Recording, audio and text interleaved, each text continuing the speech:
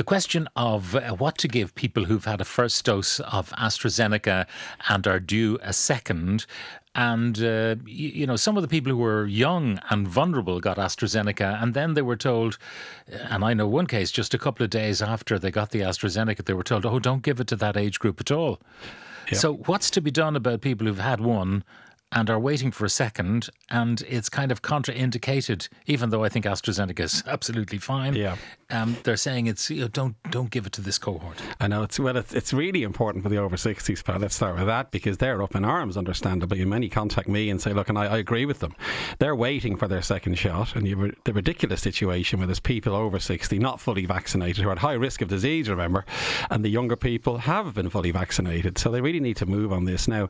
Now you're right. The mixing and matching, the evidence grows all the time that that's a safe thing to do and a very efficacious thing to do. Two big studies, one in Spain, one in Germany, and we, we we were discussing this last week, but more and more evidence. It was a fantastic study, but they looked at 26 people. Now, they were between under 46, this cohort. They got a fourfold stronger response if they mixed and matched than if they just gave one vaccine, you know. So there's the evidence you need that mixing and matching gives a much more powerful response.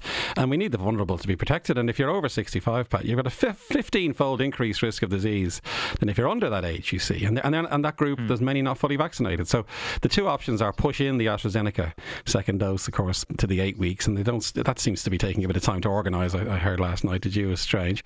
Or I think give them Pfizer because that's a very powerful vaccine and a very powerful combination, and, and and they deserve it. They've had to wait, you know, and they're very vulnerable. So I think it's a really important thing that should be looked at.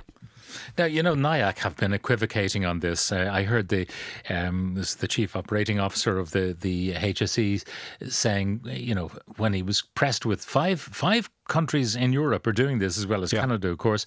Uh, five countries are doing it. Ah, yes, but many other countries are not doing it. Well, you need a bit of guts, I suppose. I mean, this this age group want it. Give them the option. Why can't you like? Here's your, you can have a choice between Pfizer or AstraZeneca. Let them have a choice, and they, they may need to sign some waiver, I suppose. See, the trouble is, Pat, the, the, trials are a bit small that mix and match, and maybe there's a reluctance from that point of view. But it's so important now with the, with the Delta variant, Pat. Remember, because that's a more serious variant. We know mix in that study I mentioned, the mix and match worked really well against Delta. They got a massive, good antibody response, they mixed and matched, you know. And the Delta's out there, and there's a vulnerable group that aren't fully vaccinated. So now more than ever, NIAC need to be a bit more punchy. I would say a bit more, a bit more aggressive, maybe. Now again, mm. they must be looking. I think they are looking at it to give them a bit of credit. They are, they are looking closely at it because they want to make sure they do the right thing. But you're right. If, if five countries are doing it, why not us? That's the question I would have.